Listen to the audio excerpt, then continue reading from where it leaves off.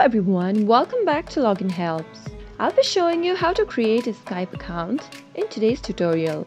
If you are watching us for the first time, subscribe to our channel by hitting the subscribe button and press the bell icon so that you'll be notified as soon as we post a new video.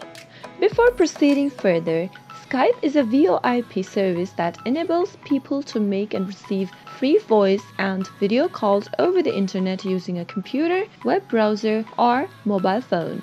To create a new Skype account, go to your web browser. As soon as it opens, search for skype.com. This is the official website of Skype. Click on the sign in button located at the top right and to create a new account, click on sign up. To create an account, Choose your country code and then enter your phone number or you can use your email instead as well. To do so, click on use your email instead.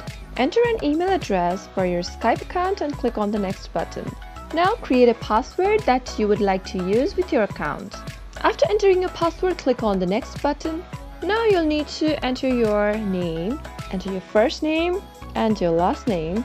Click on the next button after that. Now, you'll need to verify your email. A code has been sent to the email address you entered. Go check the email. Open the email and then copy the code that has been sent to you. Go back and simply enter the code. If you don't like information tips and offers about Microsoft product and services, then uncheck the little box. If yes, just leave it as it is and click on the next button.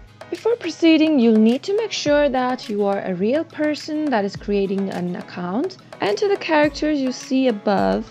If you want an audio verification, then simply click on audio and listen to the code and type in the code and click on the next button.